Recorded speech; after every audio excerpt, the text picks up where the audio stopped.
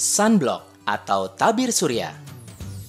Sinar matahari memiliki kandungan vitamin D yang dapat diserap oleh tubuh. Namun meski begitu, terkena paparan sinar matahari terlalu lama dapat membuat kulit menjadi rusak.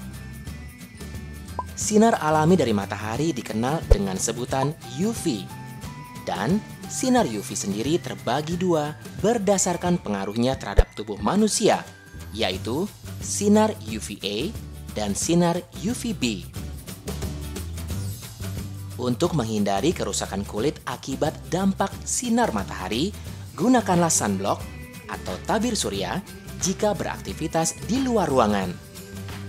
Sunblock dengan SPF 15 hingga 50 dapat menjaga kulit dari dampak paparan sinar matahari yang terlalu lama hingga 98%.